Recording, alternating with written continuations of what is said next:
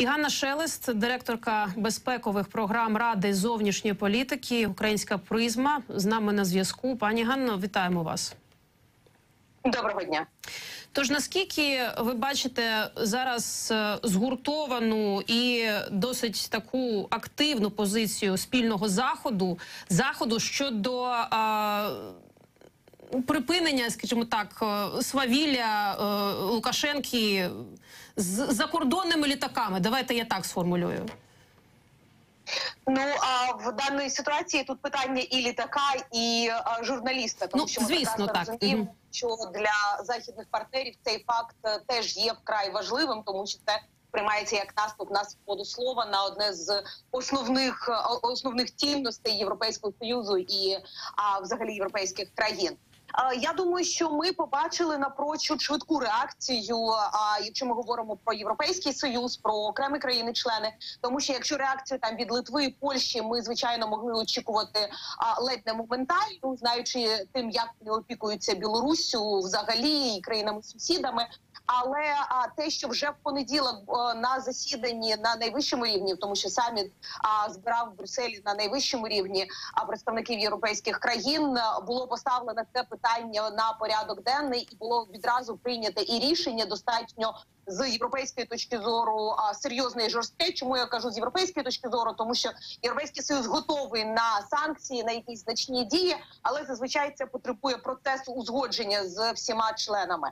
В даному випадку таке швидке рішення говорить про те, що тут не знайшлося жодної країни, яка б сумнівалася в а не тільки незаконності цих дій, а в їх мотивах і в їх наслідках. Відповідно, а ми побачили достатньо гарний такий перший крок. Е, Чому кажемо перший крок? Тому що навіть е, тексту цієї резолюції випливає, що зараз будуть розроблятися дуже конкретні вже санкції з конкретними іменами, компаніями. А окрім заборони польотів білоруським авіалініям, це ми почули відразу у понеділок. Ну і звичайно, узгоджена є е, позиція Сполучених Штатів з європейськими партнерами. Так само ми почули дуже чітку реакцію а, із Вашингтону.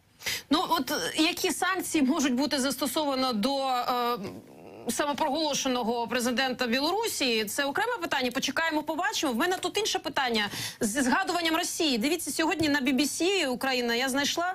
Цитату з е, вуст генерального директора АНР Майкла Олірі, який сказав наступне: Ми вважаємо, що в аеропорту також зайшли кілька агентів КДБ. У день посадки літака далі продовжує інформація BBC. Літака компанія робила досить обережні заяви та вибачалась за незручності, проте не згадувала про Протасевича. І він пояснив, чому тому, що тоді ми розуміли, що ситуацію займається керівництво ЄС і НАТО. Тож, ну наскільки ці слова і все ще що заперечують Росія, вони будуть більш переконливими ніж заяви Кремля. Ну заявам Кремля в багатьох європейських столицях давно не вірять, і було а, для них дуже показовим навіть не українська ситуація тут є, а ситуація у Солсбері в першу чергу. Давайте згадаємо, як Москва е, заперечувала свою а, причетність. Те ж саме відбувалося із допінговими комітетами в і в Швейцарії, і в Голландії, де були а, схоплені російські а, спецпризначенці. Але в даному випадку питання полягає в тому, що звичайна кампанія все ж таки спочатку обережно а, висловлюється. Це ще й неділя. Тобто я розумію, що там прес-секретар був не готовий, мабуть, або а, боявся за безпеку компанії, щоб літак таки вилетів. Але Ранер отримав дуже серйозну критику в соціальних мережах моментально. Тому вже в понеділок ми побачили заяви керівництва авіакомпанії які були такі відверті і а, жорсткі. Що тепер може бути? Давайте теж не забувати, що питання піднято не тільки на рівні Європейського союзу, а вже передано на розгляд. А безпосередньо ІКАО це головна міжнародна організація, яка займається безпекою польотів.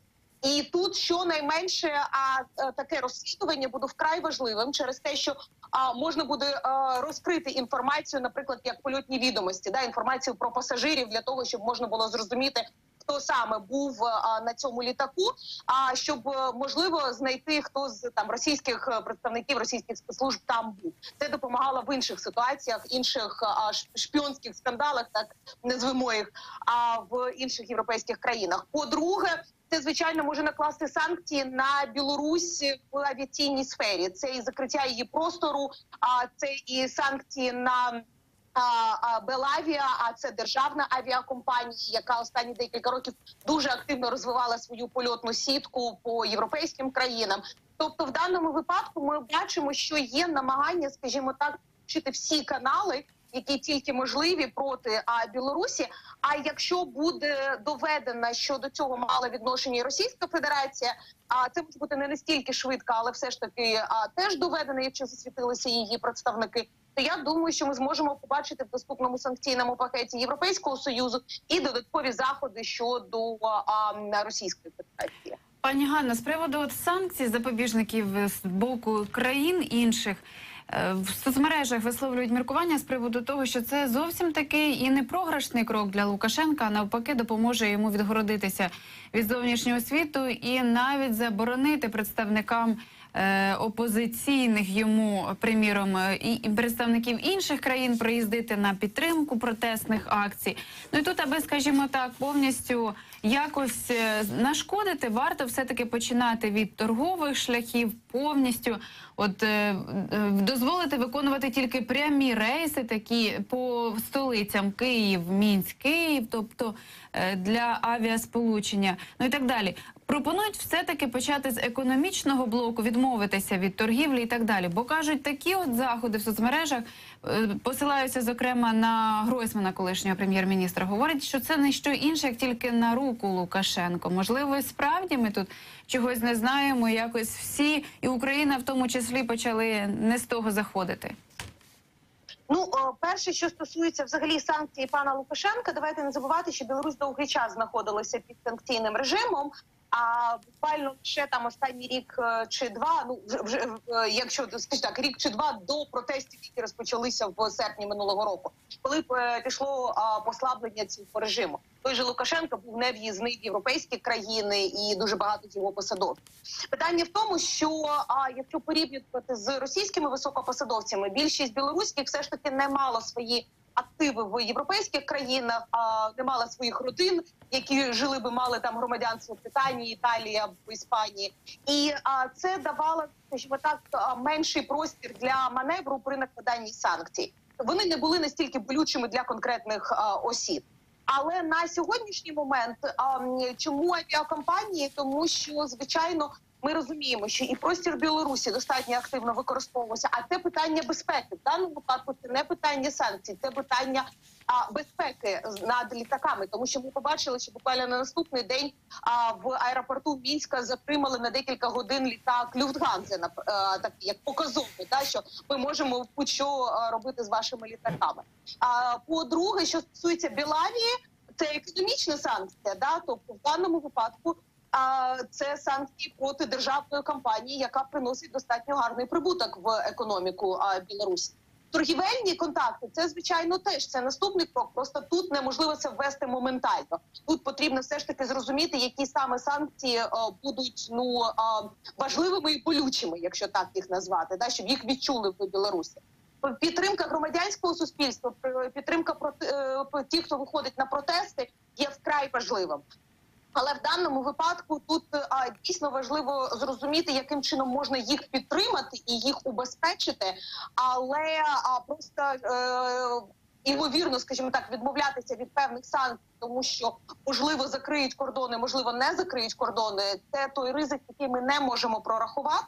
Більше того, ще нещодавно білоруси отримували виїзну візу. Тобто а, Лукашенко вже використовував подібні заходи. Тут нема для нього нічого нового. І а, тут я думаю, що скоріше а, будемо говорити чином посольства, які там ще залишаються в мінську європейських країн, змогли би допомагати тим протестувальникам, які є під загрозою, і яким потрібно було би, наприклад, терміново виїхати з території а, Білорусі. Ми тут ще не розглянули одну із важливих тез. А навіщо це Росії? Ну, окрім того, що можливо зараз всі говорять про Лукашенка і Білорусь. І не так багато говорять про Путіна. А ось тут теж вскочує Росія і знов починається. Навіщо це Росії було зараз, якщо вона дійсно брала участь в цьому? Тут може бути декілька а, мотивів.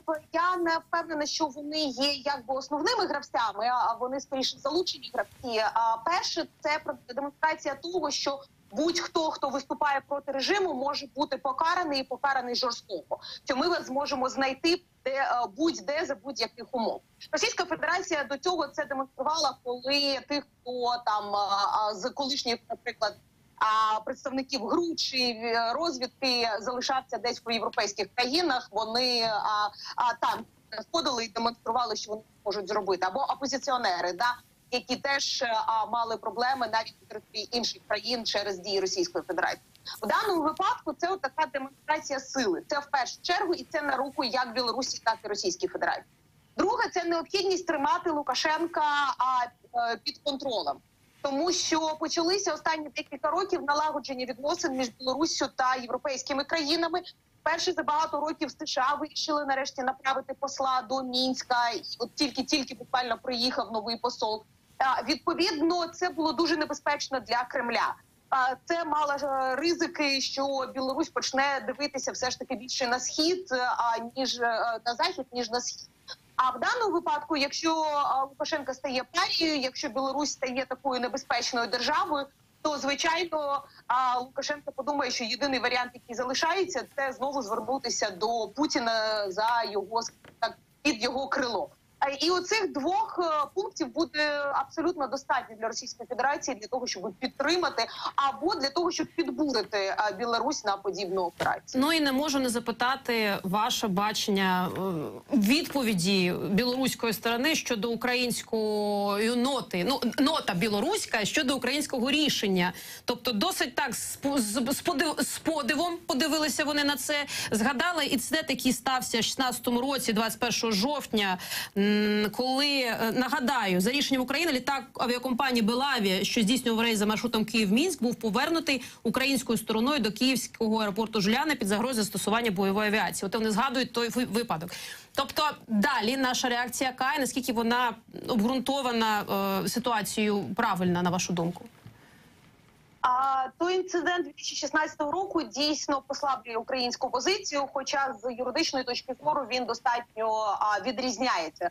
Це все ж таки не був а, по-перше, фейковий фейкове повідомлення про бомбу. По-друге, там не було ситуації, що це проліт над територією був. Тобто там дуже багато нюансів, які відрізняють.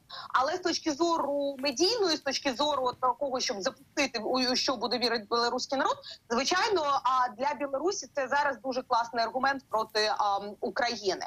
А що буде далі? Ну е, е, звичайно, що Україна все ж таки приймає рішення в першу чергу, виходячи з власних національних інтересів, а як безпеки своїх літаків, безпеки своїх громадян. Так, і з точки зору нашої зовнішньої політики, тут зрозуміло, що для нас дуже важливо бути спільними з європейським союзом, якщо ми говоримо, що ми є частиною великої європейської а, родини.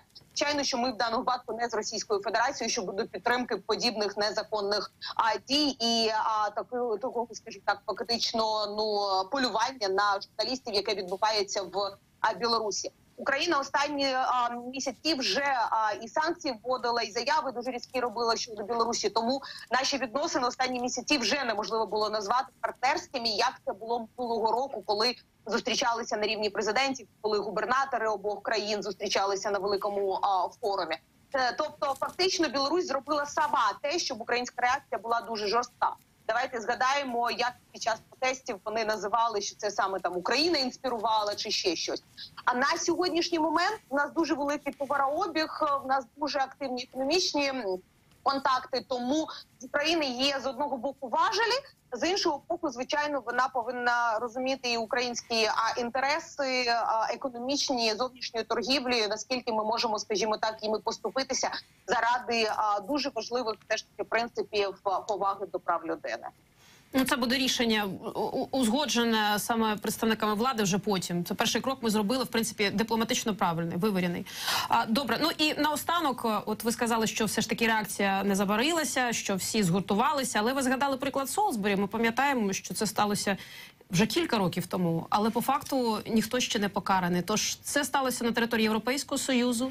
Безпосередньо була звинувачена Росія. Тут сталося на території закритого закритої держави. Тож наскільки ваше передбачення, що дійсно відповідь буде радикальною? Ну, по-перше, По-перше, я би не сказала, що після Солсбері нічого не сталося, Мгм. тому що окрім висилки дипломатів, звичайно, це те, що було в публічному. е, Дуже дуже велика кількість дипломатів російських було вислано з усіх європейських країн і американських. Але окрім цього, Велика Британія вводила власні санкції. І щодо а, конкретних а, а, компаній російських, і щодо людей, а і щодо а, співробітництва спецслужб по цій сфері, і є розслідування в рамках посередньо міжнародних організацій, відповідальних за а, хімічне озброєння, і санкції накладалися в рамках цієї організації проти Російської Федерації. А ну і е, ми знаємо чітко, хто є винним в даному випадку. Розслідування було закінчено. Єдина проблема, що звичайно тут е, а, взяти людей, які знаходяться на території е, Російської. Федерації, питання не може, але це не значить, що вони не визначені Тобто- і проти них немає звинувачень. Тобто інструменти А, ну, є. і Так, маємо завершувати. а, Так. Е, Да, і в даному випадку я думаю, що ми зможемо побачити поступово те ж саме. Спочатку все ж таки а, чітке покремлення окремлення, хто буде. Так. Сподіваємось, сподіваємось. е, е, Дякуємо вам за коментар. Ганна Шелес, директорка безпекових програм Ради зовнішньої політики Українська призма, завершує цю інформаційну годину на четвертому каналі. Зараз